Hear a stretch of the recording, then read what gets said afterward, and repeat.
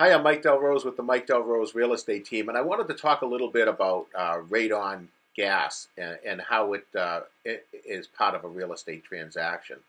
Um, now, radon is the uh, breakdown of rock um, over a certain period of time, and it emits a radon gas that is a carcinogen. It's a serious issue and one that needs to be addressed. Fortunately, as it relates to real estate, the correction for uh, radon gas that tests at high levels is a pretty simple uh, and effective uh, correction for it.